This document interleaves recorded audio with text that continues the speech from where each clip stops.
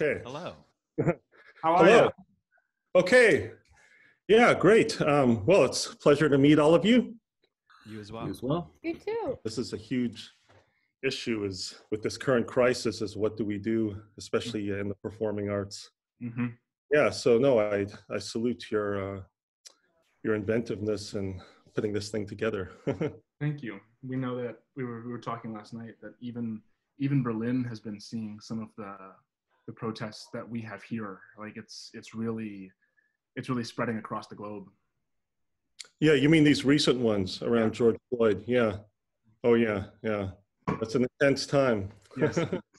We've been we've we were we were chatting with uh with Aaron Cassidy the other day, Uh-huh. and he he was very adamant about contemporary music's position and role in that that process. He said, "I'm I'm ready to make some really ugly noise now." Uh-huh. How are you? How's how's writing been amidst lockdown? you know, I have my library here, which is great. The difficulty is that, um, you know, we have a, a daughter, and so now we're kind of homeschooling as well. So that's uh, that takes a lot of energy. I have to presume that she trusts you with with math homework.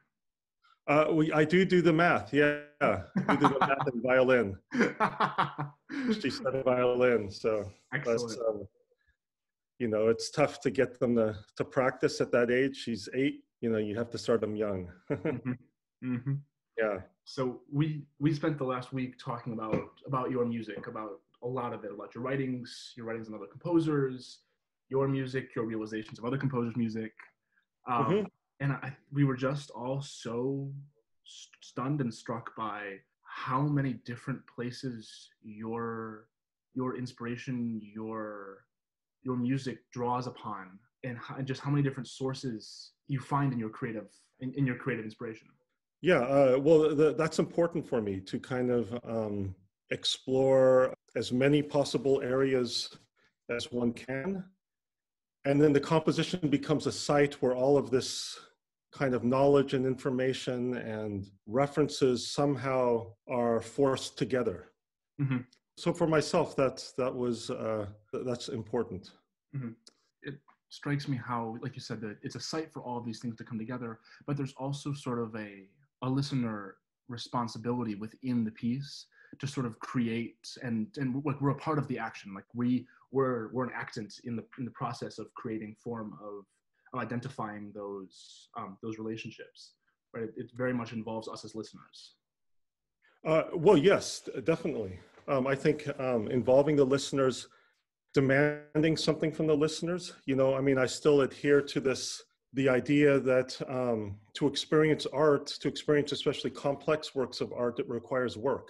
Mm. It- It's it's not just simply a passive form of consumption. It requires, it demands something from the listener or from a viewer, and I think it's this kind of relationship between the work and and the experience of it that can fundamentally change um, a listener or a viewer's um, their worldview. Mm. through coming into confrontation that with something that may be um, difficult at first it may resist them at first but but after time after spending time with something they um, begin to kind of go outside of their own biases their own preconceived notions of what art what beauty should be right? I mean, Lachenmann once described beauty as the rejection of habit, you know, Mhm. the idea that beauty is so much tied in with the idea of resistance in, in, the, in the work. Um, these things are important for me um, because they, uh, they offer a, a potential for art to kind of um, change the way that we see the world, the way that we move through the world. there's and there's sort of a similar I don't want to say battle of resistance, but I guess there is some resistance in it. You know, you you'll sometimes pit different like completely contrasting cultures, works, styles against each other in the same in the same piece. The the process of resistance of that resistance of, of habit for those for those sounds, those melodies to act in their in their their normal their normal manner creates a very different beauty, one that most I don't I don't think most people really get to experience too terribly often. Yeah, no, no, that's that's a nice way of putting it. I mean, um, yeah, in my work, there's references from many different things, but it's um, what's also important is um, for me a, a, a, kind of understated uh, idea behind composition that to me is still extremely important today is the notion of polyphony. Mm. And the idea that to bring in all of these things so that it doesn't just simply collapse into a kind of montage, mm-hmm. where the montage is the kind of ideology where somehow all these things can coexist without actually disturbing each other. Mm. That's the kind of capitalist montage mm. of, of, of, of, of um, postmodernism. For me, it's to bring these things into a, the same space, to manage them quite precisely through through polyphony and counterpoint, so that, and it's then through their montage, they're bring, bringing them together in the same compositional space that one has the potential to create energy. So for me, the, that's an important aspect to kind of draw relationships between um, very discrepant things, mm-hmm. but simply not just throwing them into the same pot and just hoping hoping for the best, mm-hmm. but really to I mean, this is the act of composition to actually compose the two things together to draw mm-hmm. them into relationship.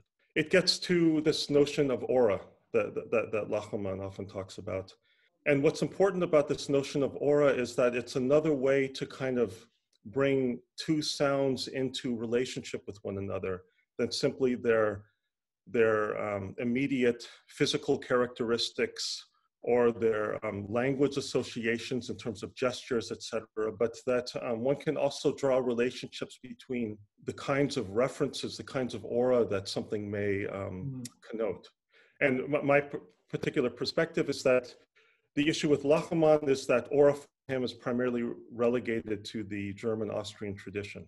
Mm. And I think that um, for a 21st composition, we can do more than that. We can actually um, take more speculative risks and actually draw relationships like I'm doing in this the, the, opera that I'm I'm working on now, drawing a relationship somehow between um, Kunqu Chinese early opera singing and the Sprechgesang of, of Schoenberg from mm-hmm. the 1930s, uh, to somehow draw these into a relationship that just doesn't become a kind of stylistic montage, which we see very quite often.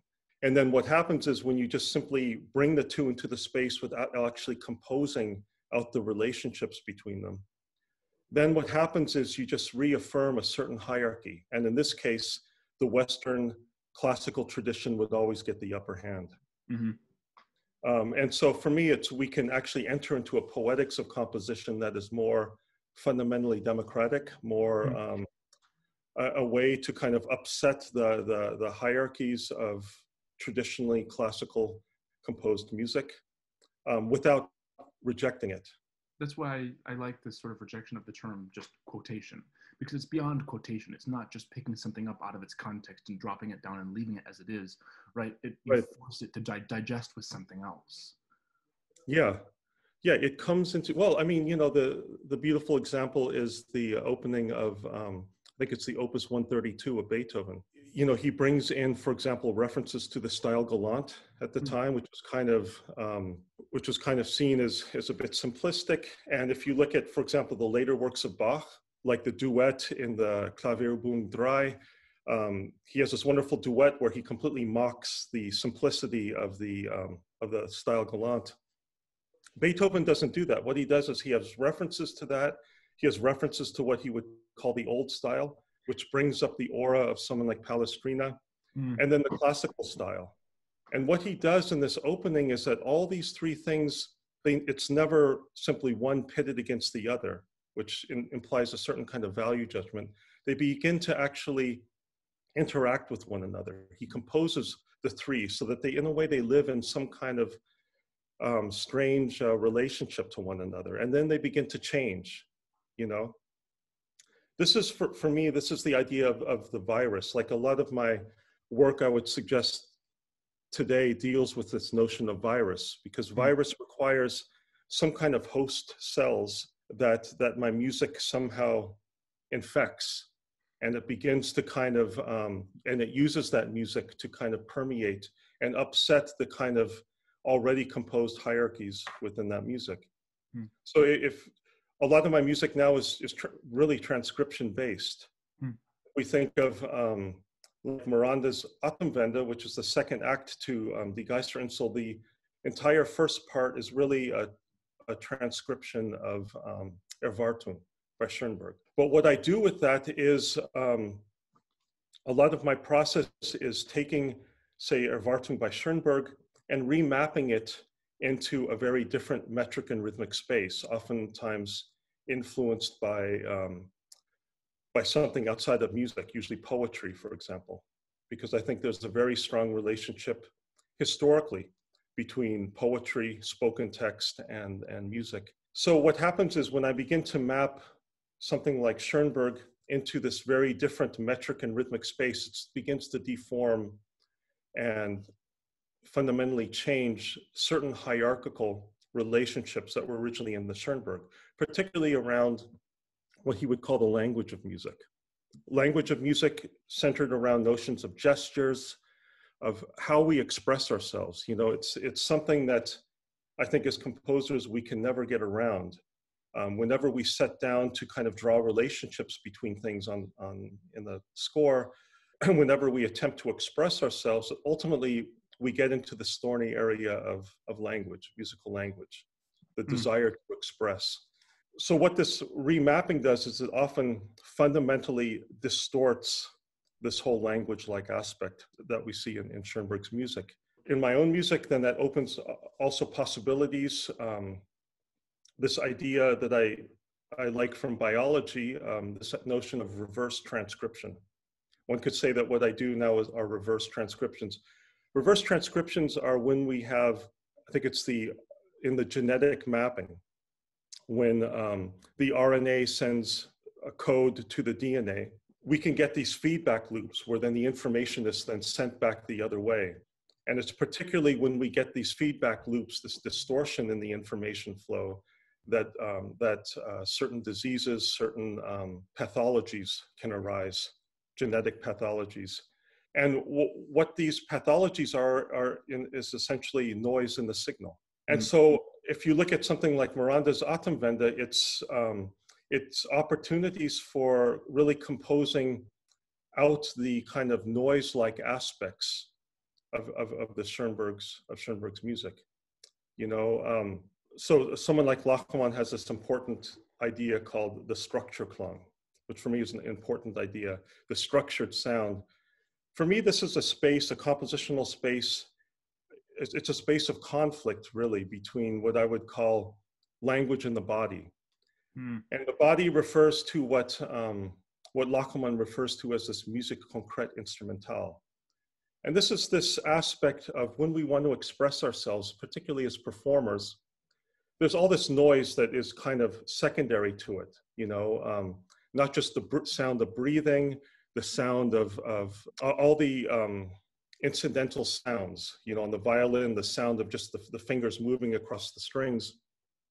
The kinds of sounds that Lachenmann in his early works began to kind of use as primary compositional material. But what's, in, what, what's interesting about these is that these, this, what I would call it's the materiality of, mm. of music. Mm-hmm. Sound's materiality can actually cause a certain resistance to music's language-like aspects. Language-like aspects is the di- desire for expression, of wanting to say something. And I think at least that's the way that I, I conceive Lachenmann's notion of the Strukturklang. It's really this side of conflict between the two. And so in, in my own work, what happens is that when you have this site of conflict between the kind of physicality, the materiality of music and expression, then what happens is that it, it gives, it opens up the possibility ability to destabilize um, the whole language-like aspects of music.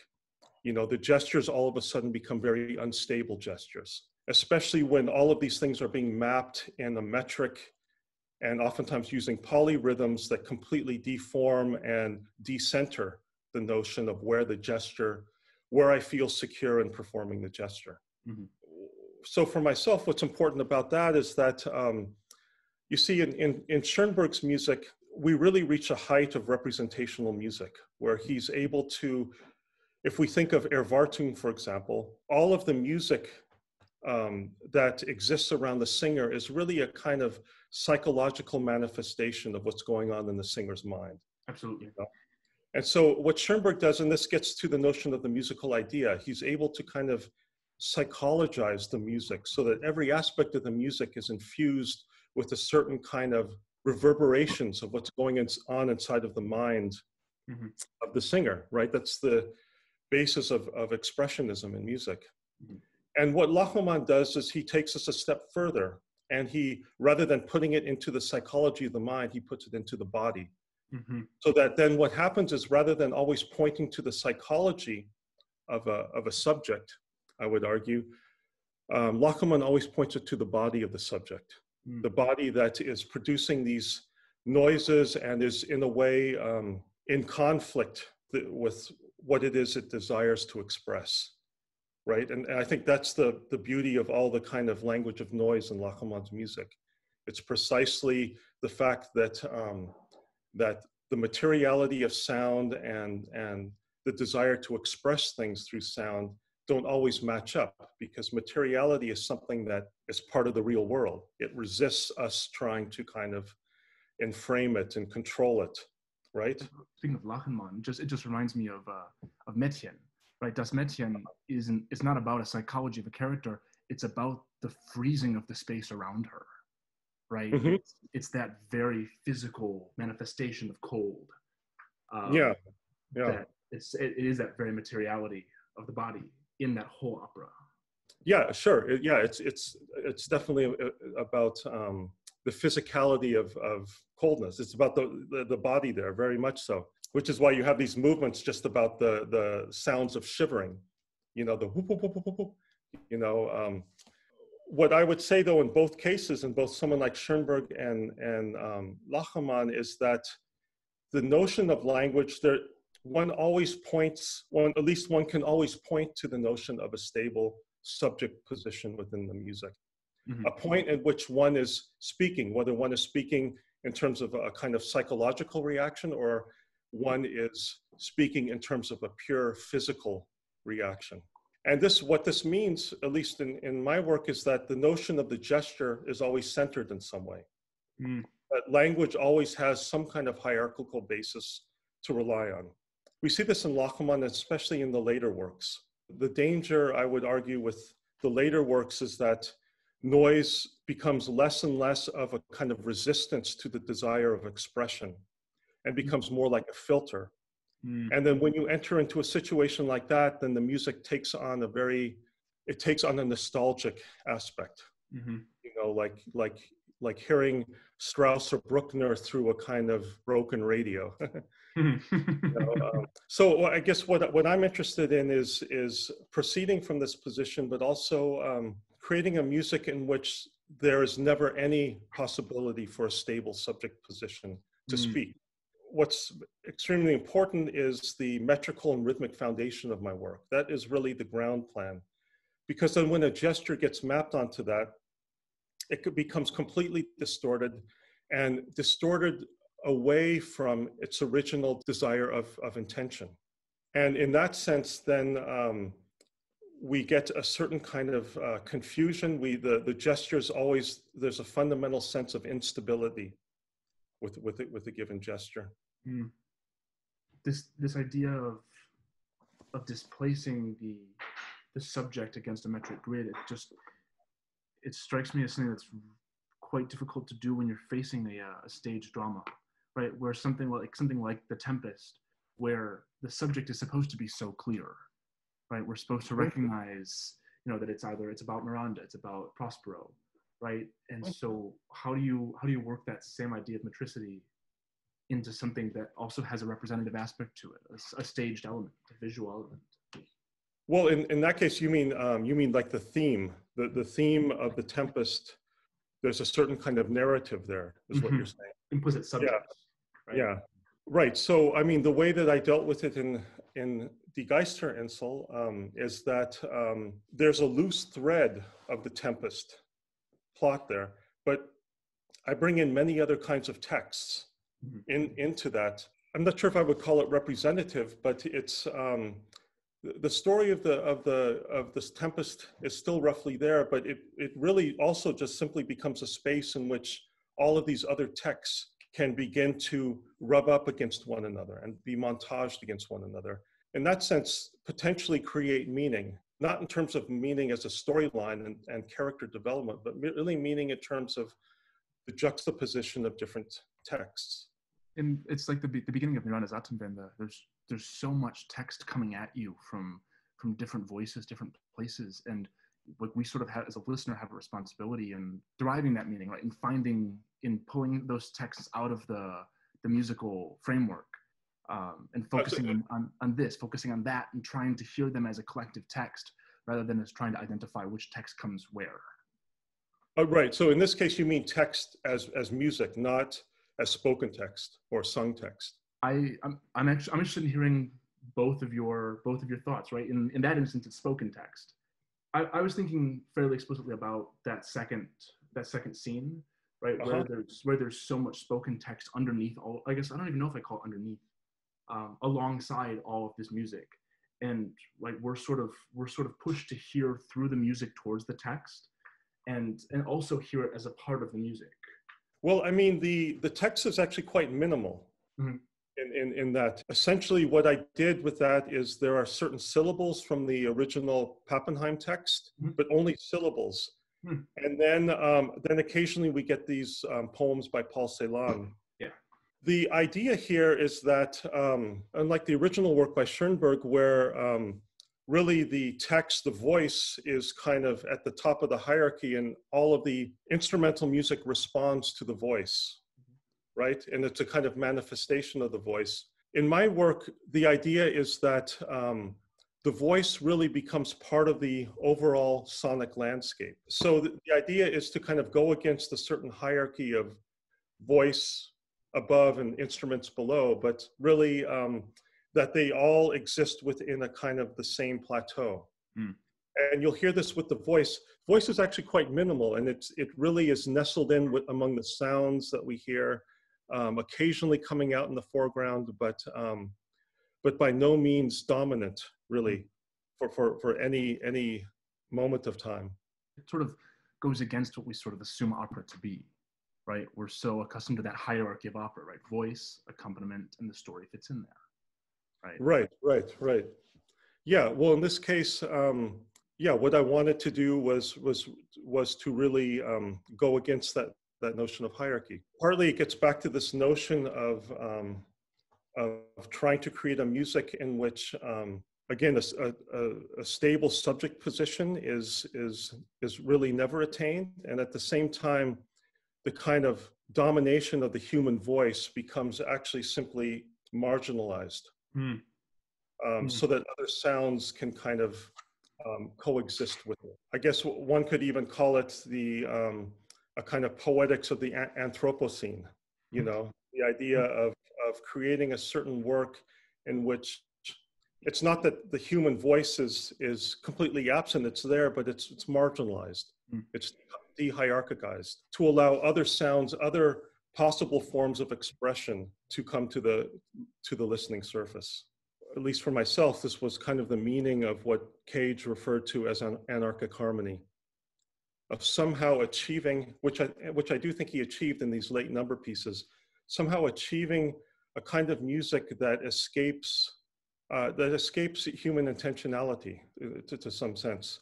Um, or at least that the, the human desire is somehow placed in the margins and w- what would a harmony like that mean you know and so t- to me it's interesting that he achieved that in his late works when schoenberg early on said you have no feeling for harmony and he said i'll just keep beating my head against the wall mm-hmm. until i do and then he achieves this sense of harmony which i think is very is quite beautiful mm-hmm.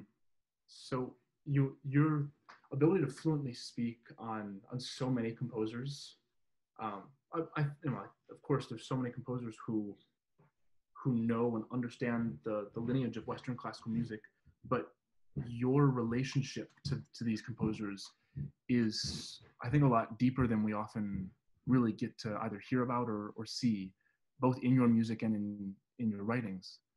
Uh, I'm just curious to, to hear about your perception of the composer as, as existing in time, right? As both creating a, a future music as well as sort of filtering and bearing all of this past music with them? Yeah, no, I think that's that's a that's a good question. Um, I do think we have a certain responsibility to the past, but yet at the same time we can't be constrained by it. You know, I I, I did my um, education in the states, mm-hmm. and then and now I'm teaching in in Germany, and um, to me that's a real um, cultural distinction as well. Like in the states, it's kind of especially when you study composition at the master's or doctorate level, it's really like um, everything's possible, you know, and which is great because it opens up this kind of freedom, but it's also problematic. Mm. Uh, it also leads to some problems as well. On the other hand, in Europe and Germany, because of the the history, is actually a little much more like the states. But I, I, I give another example of where I've taught in the past, which is Italy. Mm. And Italy is the other end of the problem, where basically um, composers have to study, do all these stylistic studies for like 10 years before they can even think of writing their own piece. Mm. what happens is it completely cripples them. Mm. In fact, they've told me it just, they want to compose, but their creativity has been crushed out of them from a kind of very authoritative education. I think it's uh, important to kind of, to somehow have both, you know, and for, from my own experience, it was easier to kind of begin I mean, I'll, I'll, give you a sense of what my um, development was, and you could probably sense that just through hearing the CDs that are out there of my music, which is when, I mean, I came from a position of writing, you know, uh, music that was very much influenced by um, traditional music, etc. Then when I came to San Diego, where I did my doctorate, things completely changed, and I kind of went to a degree zero where I, where I exercised everything out of my music. And I remember the, the first piece I wrote there was this duet for um, clarinet and cello, and all I had was just a breath sound through the clarinet and a kind of um, and a batuta sound of the bow hitting the, the strings. That was a painful period for me because I forced myself to build compositions out of the most reduced material. Mm. Mm-hmm. Um, and if and, and I have the CD of these early chamber works these are the that came out of this period. But what was important was it it um, it brought together two important aspects that have always been there from my compositional interest. One is um, fascination with sound and, and experimentation with sound, and also with structural thinking. But the whole language-like aspect of my music, which was kind of naive in my in my 20s, when I got to um, San Diego, it was also kind of un- underdeveloped because completely exercising things like gestures and all of these things that we associate with with the tradition one could say all the language aspects were still there and dealt with in a more kind of i would say a naive way but but they weren't really in on the surface because when you reduce your music to um, completely noise music for example at first it's not apparent but but that's a um, that's an illusion. It's an illusion because then um, what i noticed is that i was writing these noise works and um, that were structured that allowed me to explore certain things but in the way that i would express gestures even with just a crescendo mm. still was very much coming out of this kind of unreflected relationship to tradition. Going back to Lachenmann, this is what what he refers to as tonality in music. And he gives a, a, good model that for me is, is I would say also is important, uh, although I would develop certain aspects of it. But what he says is that there are kind of four aspects that fall into the whole compositional process. And one is the kind of physical acoustic aspect, which is just what I would call sounds materiality, hmm. which is also re then related to the kind of music concrète instrumentale. But just being aware of the kind of pure physical, uh, sensual aspects of sound and sound production. Mm. And then there's the uh, what he calls the uh, structural aspect, which uh, for him it was invoking certain at least rudimentary serial procedures. For myself, it's invoking um, serial or mathematical procedures, but also taking um, uh, mathematical procedures from other works like like poems, like taking the rhythmic structure from a poem, using that as the foundation for a piece, or from a film, using the, the timings of shots. in, in other words, the notion of number is extremely important here. And then there's what he calls the language aspect. And this is, he has this whole notion of, um, of sound types and the, the cadence sound. Um, but essentially, what he's referring to are the way that we intend things in music, the way that we desire to express things. And that happens through um, tension and relaxation, through crescendos, through um, cadences, uh, and through things like that that are that too often are unreflected. Especially when we dive deep into the materialist aspect of music, we can forget about those things, and then what happens is we start writing pieces where we re- enter into this very sonic, rich materiality, but yet, if we listen closer, they seem to fall into very um, typical, familiar tonal patterns mm. of cadences, of crescendos, of tension and relaxation. So I think it's important that these things are put into some kind of critical awareness. And often the way I do it is that the structural aspects of a work and the language like aspects often work in conflict with one another. Hmm. And so often what this means, like in um, Miranda's Atemwende or the, this ensemble piece I'm working on now, which relies on uh, Schoenberg's variations for orchestra, is oftentimes borrowing the language-like aspects from other works mm. and remapping that into a very different structural domain. Mm-hmm. Uh, and then finally, it's the, the aspect of aura, that to be more aware of the different kinds of associations that music can have. Um, and and for, for, myself, someone like Zimmermann is a real master at this. It's the, the difference between if you listen to, to Zimmermann, like Die Soldaten, the opera, and mm-hmm. say um, someone like Berio, you know, where he also deals with um, uh, what's the name of the piece um, that he uses, the Mahler's, uh, that he uses um, Mahler's Second Symphony. Sinfonia. Yeah, yeah, Sinfonia, right. So it's, um, so if we compare the two, I mean, Berio's pieces, I mean, he was a real craftsman, extremely well composed, but yet it all kind of blends into this montage of carrying the listener along. Mm-hmm. And there's, at least for, from my own perception, there isn't this kind of internal resistance of what it means to bring in these different kinds of materials. Mm.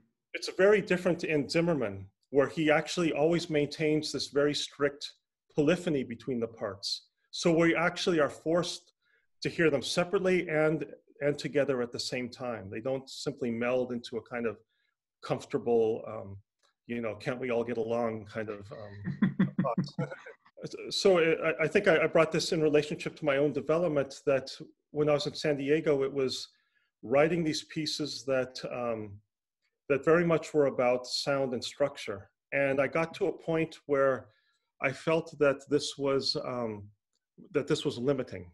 Mm. Um, in the sense that um, it needed windows to be opened, it needed some kind of roots to grow um, and connect to the outside world. Mm. And so then this is when then I began to, um, you know, then I was stuck in this position like, well, how do I write a gesture when I've completely eliminated it, it from my music? Mm-hmm. How do I bring something like a crescendo in there when, um, or, or a trill when I completely exercise these things as just the merely decorative in my in mm. these more noise pieces. So the only way I could really do it was through uh, through other people, hmm. taking a trill from a Mahler's symphony, or taking a um, uh, taking a gesture from from Schoenberg, or um, or a chord from Stockhausen. It, it immediately opened the world of my music to become potentially more complex, and allowed a way for it to go forward. Mm. Because the danger I was in was really painting myself into a corner where, okay, I'd be, you know, do I want to be spending the rest of my life writing these perhaps beautiful noise pieces, but that ultimately are kind of always stuck within their own world? Then the danger is that you're producing merely decorative works. Mm. And um, so for me, it was important to really um, allow the work to, to grow roots. And then that's when I started then transcribing more and more into my music as part of the process like what Stravinsky once said. Stravinsky once said that um, I don't compose, I steal. Mm-hmm. You know, and it's in a way um, that's how I was able to bring things like gestures and all these language like rhetorical like aspects of music back into my own music. I love that. Talk to me about you. I think you prefaced this by talking about it as an experiment. This sort of idea of like a composer of experimental music or an experimental composer, right? You you differentiate the two in your writings. Uh, I'm not so sure that I do. I mean, um, one thing that I guess I would argue is that the danger that we see, um, especially in, in music education, is that it all becomes about experimentation. Hmm. But f- for myself, at least, there is a kind of danger in which experimentation starts to kind of shift over to this um, this attitude of, of of entertainment, and really, there's a danger in which experimentation, particularly in in the way that we see it in uh, um, some American schools, I would say also in, in some German schools, um, but I would say more in terms of this in the relationship to a kind of late capitalist culture is that mm-hmm. The danger is that it's it lacks a certain kind of seriousness and um, I would say and a decisively anti-intellectual mm. orientation. And mm. this became quite apparent to me when um, at our Hochschule we uh, Steve Reich came and I had to interview Steve Reich. You know, if you think of his early works, they were they were actually quite experimental, especially the tape pieces. You know, and actually potentially very political works, like I'm coming out. Um, but in this interview, um, he completely rejects any of that kind of discourse around the work. And it really, he really at least wanted to frame his work um, like a pop composer. Look at experimentation historically. I mean, the experimentation has, has, has existed ever since the desire to, to um, create has been there. But what we see is that um, experimentation has always existed in some kind of relationship. I would call it a dialectical relationship with tradition. For example, if we consider the Kunqu Chinese opera, that was highly experimental opera, but also within a very specific tradition of, of Chinese music. Mm. Um, likewise, with something like Erwartung, you know, highly experimental, but also coming out of the German Austrian tradition of, of late Romanticism.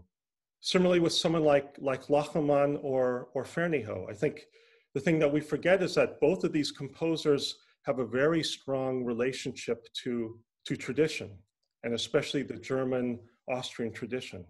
We can see, like Ferneyhough himself has said that my, my music very much comes out of the um, late Romantic, early Expressionist music. It's a kind mm. of continuation of that so experimentation is something that I think is extremely important. But when you unhinge experimentation from tradition and mm-hmm. from knowledge, then the danger is that it becomes a kind of um, it bleeds into this entertainment realm mm. of just having fun with sound. That, unfortunately, we, we see a lot of that in Germany now. There was a moment in which that was important, like in the late '60s, you know, um, which in which there really had to be a um, a critical look at at um, at art and and music after the war. But now it seems like, especially with um, with the way new music has been kind of um, consolidated in things like festivals, etc.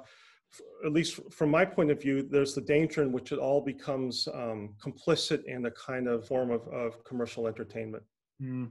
It reminds me of your the, the sentiment that you I think we started this with was that you you want your art to confront the listener that it might not be comfortable at first that you don't necessarily feel like you fit into this into this musical world and yet gradually you sort of begin to it, it teaches you how to listen to it no I, I think that's a good way of putting it i mean what i would say though is that i would like my music to to resist the listener at first but mm-hmm. ultimately i want the listener to lose themselves in my music mm.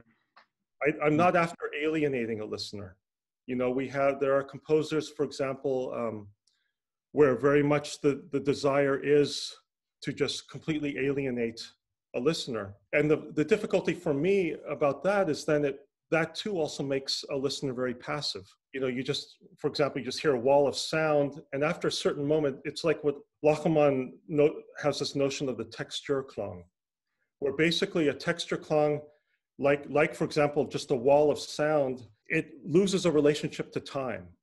And then mm-hmm. what happens is it engenders a, an essentially passive like listening. And, and we've experienced that where you experience this piece, it's, it's uncomfortable at first, and then either you just simply get bored or you have to enter into a, some kind of meditative listening you know and i think both of those also are part of this whole kind of entertainment like um, aspect you know uh, in the sense that it doesn't fundamentally try to change a listener and mm-hmm. to change their their uh, and, and, to fundamentally um, expand upon their the way that they move through the world the way that they see the world which i think is kind of the responsibility of art.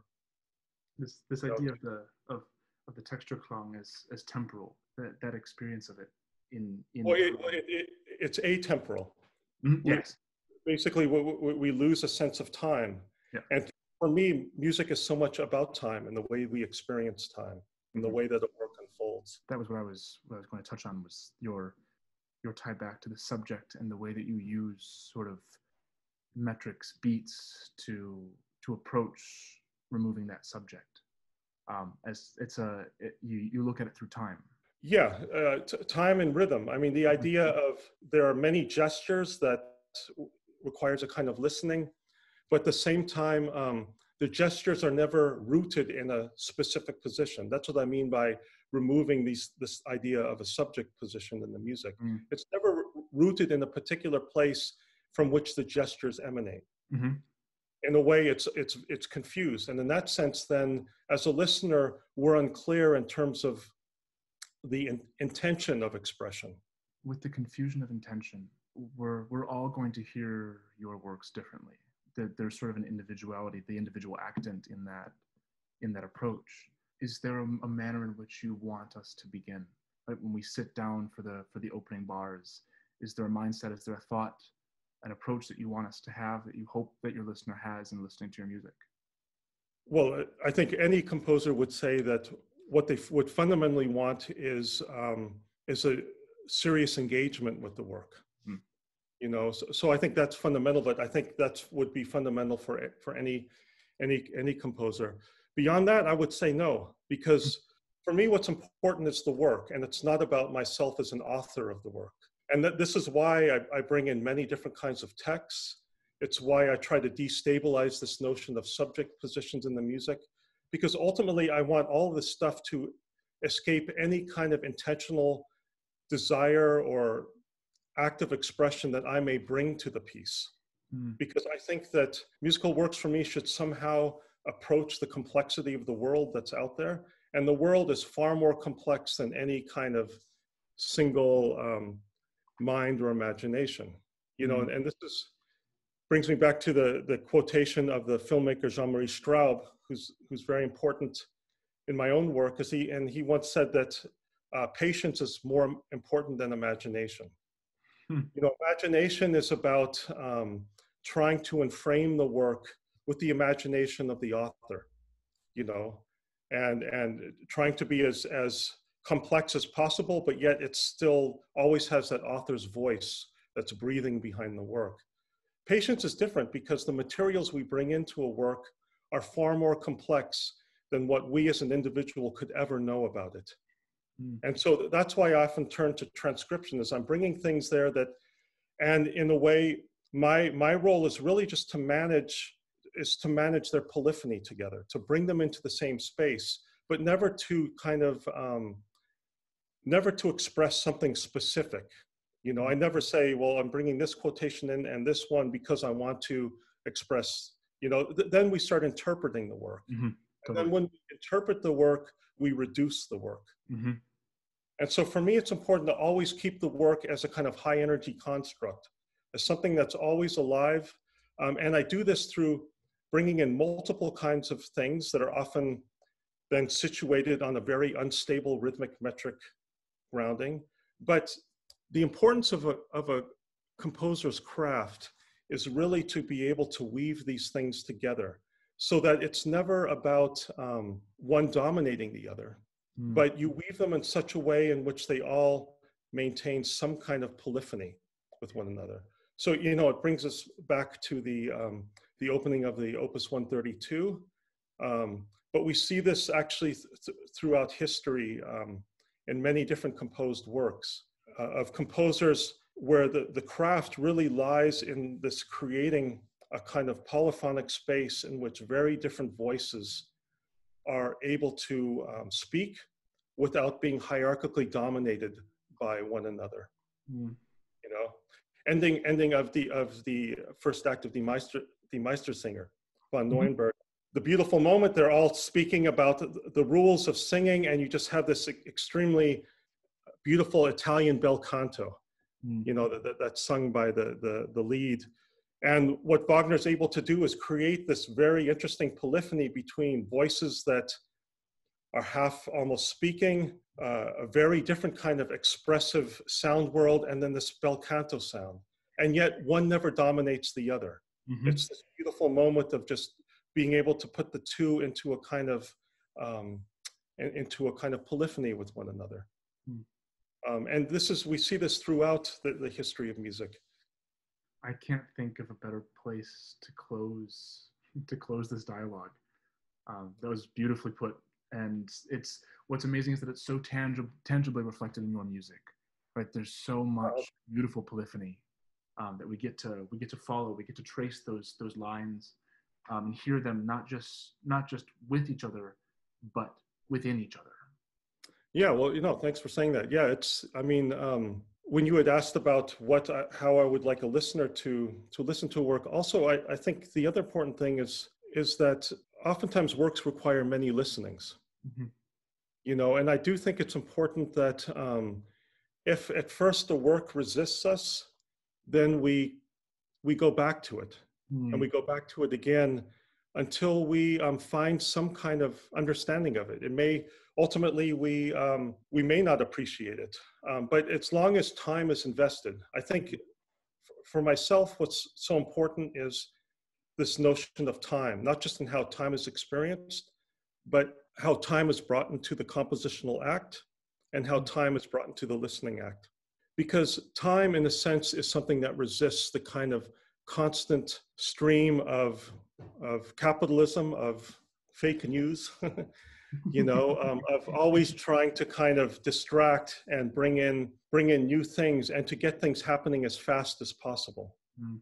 And I do think that there's something to be said about um, about slowness, about slowness in terms of not just composing, but also listening, you know, of trying to kind of stay with the music as you're listening to it. And when you can't, listen to it again, you know. For, for me, th- th- that's important. Resist this kind of um, entertainment aspect that we often have around music that is um, like a consumer, that we listen to something and then we th- quickly throw it away Mhm. you know um, i think the power of music is that when we listen to something something stays there and it it dwells with us um, and we may go back to it again and it continues to dwell with us and in that kind of that dwelling with us it opens up possibilities for our our worldview to somehow be changed to somehow feel more i would argue to feel more empathy for one another Mm. To kind of um, resituate ourselves in a much more complex world in which we're just a very small part. Amazing, and it it does change how how I listen to your music and to other musics as well, right? This is applicable across the board, right? Uh, Yeah, exactly. Yeah, We're responsible to really listening, not just consuming, to really listening. yeah, exactly. Yeah, yeah. Um, if, if we have just a second, uh, we, we spoke sure. earlier with uh, with Chaya Czernowin um, uh, Uh-huh. as part of this series, and I understand that you were one of her one of her first students. I was just wondering if you had uh, uh, any memorable stories you'd like to share about uh, about all that experience. Oh well, um, when I went to San Diego, I was already in my early 30s. Up to then, I was composing music, and then I went to the summer course and I met uh, Brian Ferneyhough, who had a very kind of deep impact on my work. So then, I applied to San Diego to work with him. What happened was then he, at that same time, he moved to Stanford. And so then I got to know Chaya. And so then I studied with Chaya for, for quite a while there. Yeah, she was extremely important. Um, it was really through her that I learned how to trust myself as a composer. Hmm. You know, I, I'm not sure if any other composition teacher can lay claim to that. What was important with with Ferneyhough, because then I did study with him for a little bit, and probably also the way that I approach teaching is um, it's very much situated around um, the work, uh, knowledge, craft, etc. But with Chaya, it's you really learn how to trust yourself and and your your your instincts. And as someone, um, and especially as a, as a young composer, that was extremely important for me. And it's really cool that you can continue carrying that right now as a teacher yourself. It's an incredible Yeah, lineage, lineage too. Yeah, yeah, uh, no, it was, um, no, it's great. Yeah, any other questions or comments or, I, I know it's going to be a little bit different with mine because I, you'll be using recordings because um, I'm a very slow composer. And I'm not someone where, um, where I can just write a piece in, in a month or something. It requires a lot of time and also research. I think research is like, for example, with the opera that I'm, I'm working on, which actually, actually that's something we hadn't talked about the opera that I'm working on, already I've done um, several years of research of just putting the libretto together. And we and I have a team of people actually, of people coming from um, theater studies, from media studies, who are helping to kind of contribute. Because the Geisterinsel was different, because in a way everything was more or less contained within this uh, around the, the the time of 1600 Mhm. this this work is extremely different. It, it really stretches the whole notion of aura because here what i'm doing is i'm bringing well the the idea behind the work is um, it begins with this early chinese kunqu opera that i'm reworking from the um, late 1500s um, called the peony pavilion in english. But yet what was interesting was that uh, a german translation of it was made in 1937 and so it's really this german translation that becomes the site for all these other kinds of, of texts to enter in. Because we have um, 1937, you have not only the problems going on in Germany, the rise of National Socialism, but over in China, we have um, the whole Nanjing massacre that is not so explicitly taught in, um, in American history, but um, I think it's important to, important to know. And so what happens is this year really becomes a site in which I try to bring in this early Kunqu opera with references to many other other um, works. It's amazing. And what's interesting is that the the original opera itself spans so much further back than than that year, but to to focus on the German translation as well and to put it in that context, as well as of course the context of you writing it now, it's Mhm. it's a lot of different layers for us to for us to process at once. A lot of temporal layers for us to process at once. Yeah, yeah. I mean, there's. Um, but what's interesting is that there's so many connections. Mm. You know, when the Peony Pavilion was being written, The Tempest was being written by by Shakespeare. In fact, they both died. Uh, Tang Xianzu, the author of Peony Pavilion, and Shakespeare both died in the same year. Mm. Um, and they both Tang Xianzu is. Um, he's an author that has a similar status in Chinese culture like Shakespeare does in European culture. The works are extremely dense. Um, if you read the opening, if well, if you read any page of the Peony Pavilion, um, you'll see that any sentence has multiple footnotes because everything's a quotation of, say, an early Tang Dynasty poem, which is then quoting a poem even before that. So it's this highly dense intertextuality that we also see in Shakespeare.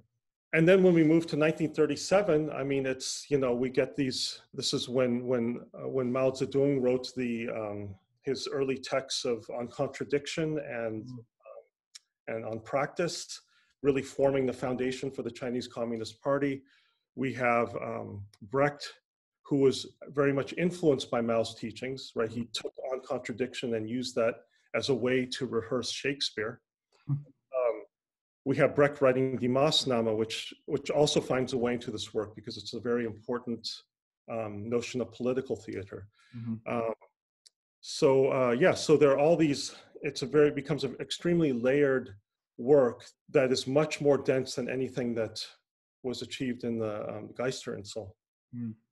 I can see I can see its draw for you as, as a composer with your ideas of transcription of of the layering of the interaction of those layers. Yeah, and finding these connections. So again, it's like the work is never dominated by any kind of narrative Mhm. or storyline or characters. All of that is is gone, and it really just becomes about the juxtaposition of these different kinds of texts. Mm. So, like, I have one text coming from I think it's around 500 BC, early text around that describes the debate between the Confucianists and the legalists. Um, we have texts from the Maßnahme, from, um, I'm also bringing in this, this J.H. Prynne poem, which I used in my piece, uh, Refuse Collection. And then we have Chinese poetry that was translated into German, beginning with Goethe up through, up through Brecht, for example.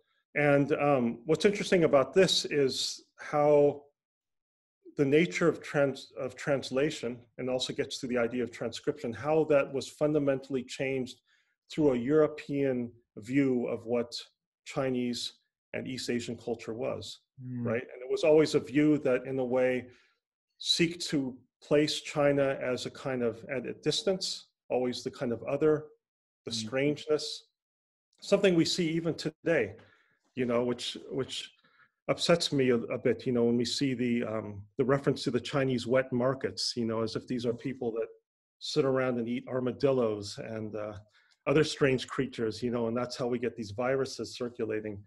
Um, there's a there's a slight aspect of of you know, one could say racism in in this kind of approach, and so for me, what's important is to take these and to kind of completely destabilize that that kind of. Ausblick, that kind of view onto Asia, and to create a much more complex um, picture, you know, without diminishing the co- potential complexity of the works that that um, engage with that. For example, Pound, Pound's China cantos is also very important because I'm using the China cantos basically. The rhythmic proportioning of the China cantos is basically the rhythmic structure of the whole first act.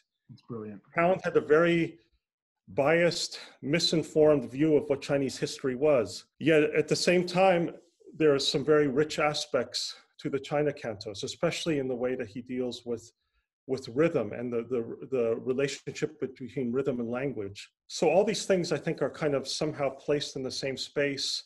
And then it's really my role to kind of manage them in a, in, in a polyphonic way so that they are counterpointed and one never tries to dominate or flatten or reduce the other, that they're mm. always placed in a dialectical way. It's amazing that it stretches beyond musical material into the, the sheer politics of humanity you're approaching a, a dialogue, a dialectic of of reducing hierarchy between these like innately hierarchical old approaches to art, to language, to culture. Yeah, well, I think um, for well for myself, I mean, composing is more than just writing notes or making a piece. It really gets to what you just said that the work becomes mu- much more of a site for for something else. You mm. know, something potentially political, something um, that can fundamentally move us in, in, in some way. And for me, one way, one important aspect is to completely, I manage things, I, I compose things, but to also then remove myself as an author mm. so that it's not about myself. It's really about the kinds of materials that are brought together into this space mm. and how they can start to inflect one another. And, and that for me then really gives an opening for complexity because for me, complexity becomes re- reduced when we always have the author's voice um, that's breathing behind the work, you know, because then what happens is everything becomes conflated within a single intention or within a set of intentions and, and expressive desires. Yeah. And for me, I'm interested in a kind of lyricism. I mean, lyricism is extremely important in my music a kind of lyricism that moves beyond this this notion of subjectivity mm. something that is much more encompassing that has the possibility to to move us in, in ways that um, that don't always bring us back to intention and desire especially of the composer i i, I don't even know how to how to follow that yes it reads it reads so beautifully in your music right it's very oh, very foucault right what is an author uh, right. And Barthes. yeah, right. Hold on, Bart. Yeah, well, great. Well, um, I appreciate all of you including me in this project. Our and I hope, I hope in the future we can actually collaborate on a on a performance together. That'd be terrific. Absolutely. Yeah. Circle. It's a pleasure to meet all of you, and um, yeah, I hope we can all meet in person soon. Yes. And I, again, I really uh, salute and and thank you for the work you're doing. Uh, not just irrespective of this of this uh, virus, but also within this context. I think it shows real invention, and um, yeah, I look forward to see to seeing where you, as an ensemble, how you uh, go forward. So are so are we. Yes. Thanks again for everything. We'll talk to you soon. Thanks so much for your Yeah, time. okay. This was great. Wonderful to meet you. Take care. Thanks so much for tuning into this week's episode of Everything But the Kitchen Sink. We hope you enjoyed it. If you'd like to hear more, you can find all the episodes of our summer series on our YouTube channel and our website, alineaensemble.org. Also, be sure to check out our social media profiles for more information and previews of upcoming episodes. Our handle is Alinea Ensemble. Please feel free to share today's episode with anybody you think might like it, and don't hesitate to reach out if you have any questions or comments. Stay tuned for more episodes of Everything But the Kitchen Sink released every Friday at 1 p.m. Eastern Time. And as always, we hope you are all safe and well. See you next time. if there is nothing to discover from the beginning, if, if something does not get richer with, with the years, uh, you should, you, you just would have to stop working on it. It's not interesting anymore.